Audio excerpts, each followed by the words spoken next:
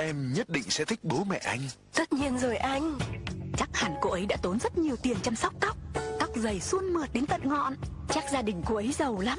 Thật ra cô ấy chỉ dùng dầu xả Rejoice siêu mượt Đậm đặc hơn với 50% tinh chất kem dưỡng tóc Giúp giảm hẳn tóc sơ rối Cho mái tóc dày thẳng mượt.